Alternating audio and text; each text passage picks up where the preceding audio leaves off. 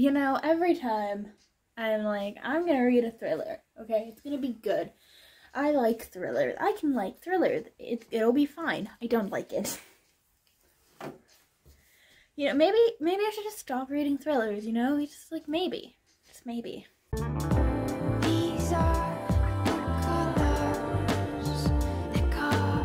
Today I'm going to be reviewing Every Vow You Break by Peter Swanson. I think that's what it's called.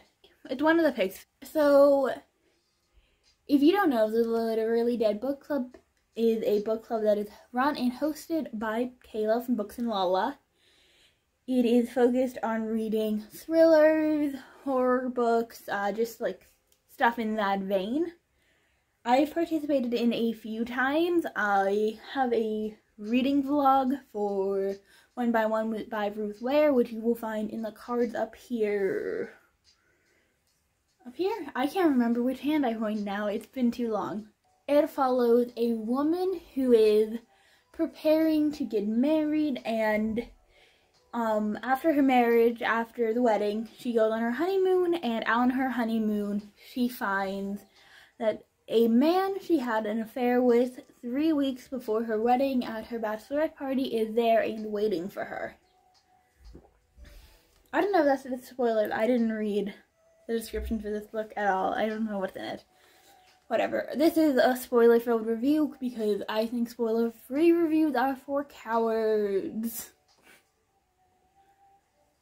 we start with what feels like a contemporary. We basically just follow this woman um, as she prepares for her wedding. We get flashbacks to the night of the affair. We get um, like snippets of her past, snippets of her relationship. I would say about 30% of the book is that contemporary feel where they're establishing the world and the characters and stuff like that. I didn't mind it personally. Um, it was probably some of my favorite part of the book. I also think it does a great job of laying the thematic groundwork down for the rest of the book. You very much get an idea of what the book is going to explore in that section. Um, it lays, uh, lays down like the themes of infidelity and the need for stability and just how weird and bad men can be, stuff like that. And then when they get to the island, when they actually get to the honeymoon, um, I think that's when it picks up. It does pick up a bit at the wedding because we are led to believe that the uh, ex, not the ex-boyfriend, but the man she slept with is at the wedding, is like lurking in the shadows. Um, so there's some tension there and um the tension builds as they get to the island and it's revealed that he's there on the island and he is trying to blackmail um trying to blackmail the main character. Her name is abigail. I didn't say her name.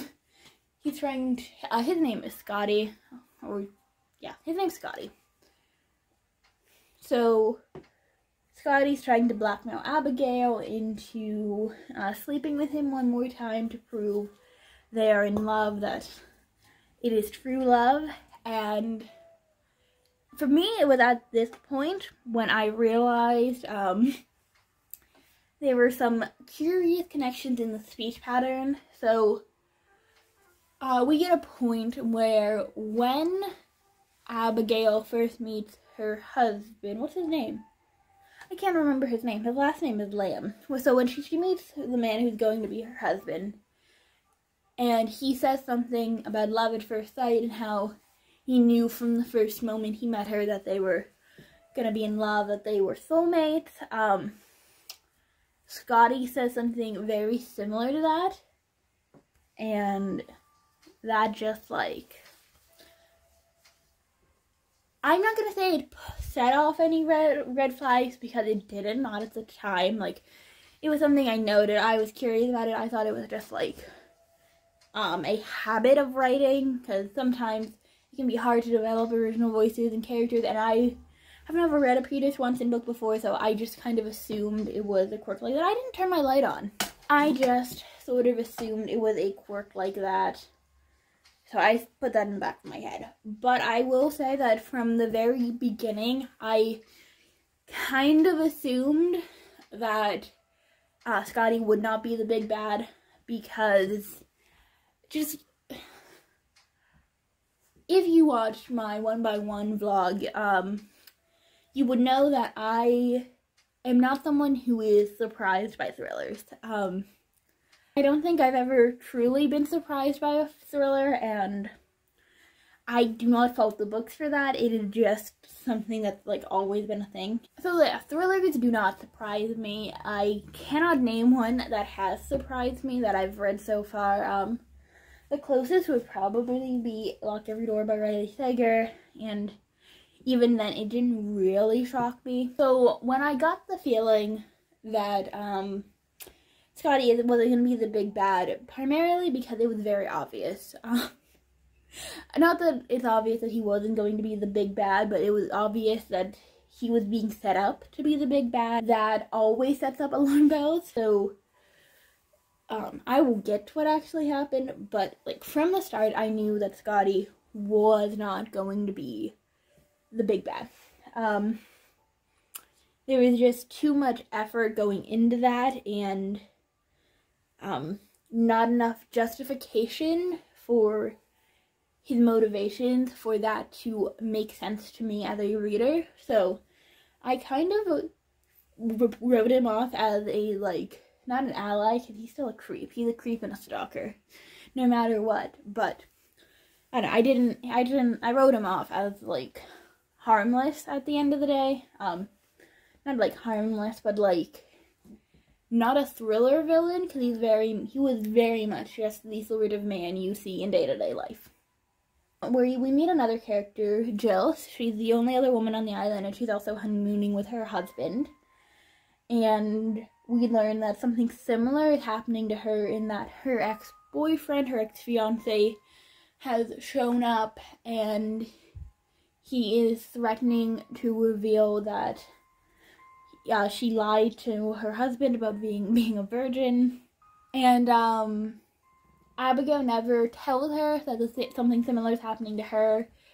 She just wants to like keep it to herself, but this is really, I think, supposed to be the first sign that something like weird is happening. Um, for me personally, the first sign that something weird was happening when it was all like all men. Um, I don't trust men, and I certainly wouldn't trust an island that the guests are mostly men and where the uh, staff is mostly men.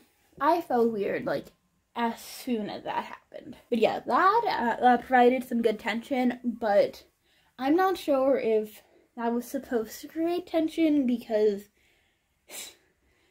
the author is a man and might not know how like on edge it would make some women to be surrounded entirely by men on a remote island where anything could happen to you. Abigail says that she's gonna like do stuff and um she's gonna like befriend Joe to make her more at ease and stuff like that. They agree to meet up at the pool the next morning. Um well not next morning, it's like ten, so technically the morning, but like late morning. So they wake up. Um Abigail wakes up in the morning and she decides to spend some of the morning at the beach with her husband whose name is never coming back to me. They spend the morning at the beach and she ends up falling asleep when she wakes up. Oh, I forgot a bit. Um, Abigail sneaks away. This is somewhat before the Jo stuff. Abigail sneaks away and calls her friend Zoe and asks her to look in to uh, Scotty, and uh, uh, the friend ends up finding out that Scotty is actually named Eric and that he um, is suspected of murdering his wife on their honeymoon and stuff like that. Also, that the fake name he called Abigail was the name of his wife. When she wakes up, she sees Scotty slash Eric talking to her husband, and while like they're just talking. It's suspicious, you know. You know how it is. Um, nothing much comes of that other than some stuff later on, but that doesn't really matter. I'm gonna skip over it. With scenes like this and a few other scenes we see throughout and um, later on. I think that Peter Swanson does a good job of establishing and building tension. There's always this like nugget of tension that is at the back of your mind that builds and builds throughout the fiction he he writes, at least for this one. And I enjoyed it. I enjoyed that. It was a intriguing reading experience, and it left me like not on the edge of my seat, but it, it was incredibly engaging. Is what I mean to say. Uh, when she goes to meet Jill at the pool, she's not there. She doesn't think much of it. She goes to bed, and she's awoken in the middle of the night to Jill bloody hitting on the window of where they're staying. She goes out into the woods and tries to find her, and she doesn't. She wakes her husband up and tells him about it. They report it to staff, and nothing comes of it. In fact, she's told that Jill and her husband left the island that afternoon. She doesn't believe it, and she asks to call them, but it's 3 in the morning, so they decide to do it in the morning. She wakes up, she's told that Jill's fine, they called her and everything, but she can't call them right now or anything.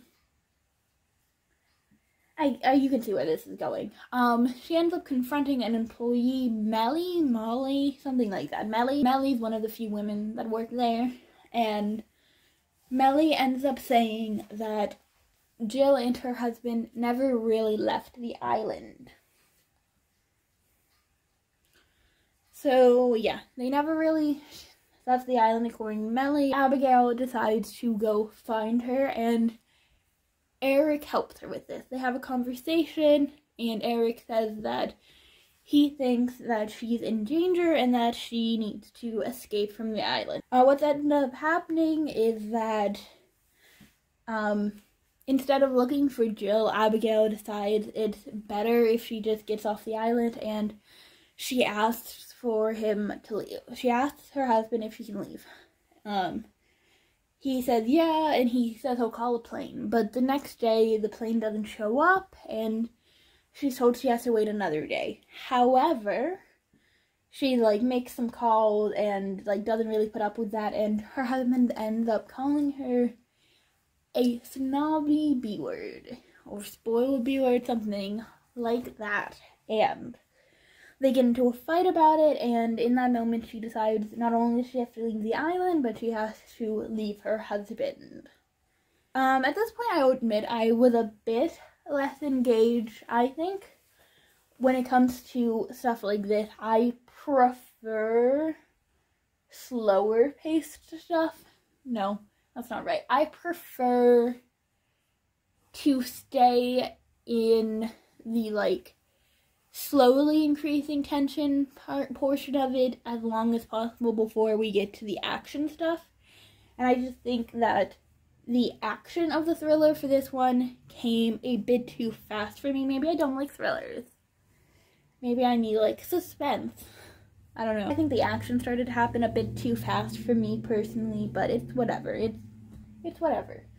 A plane ends up coming in, and um, um, Abigail goes to get on the plane, but Eric says that he that they threw Jill off the plane, and um, that's like how they how they got her, and um, her husband shows up. He's he's like, "You're not leaving with my wife. My wife and I are leaving together."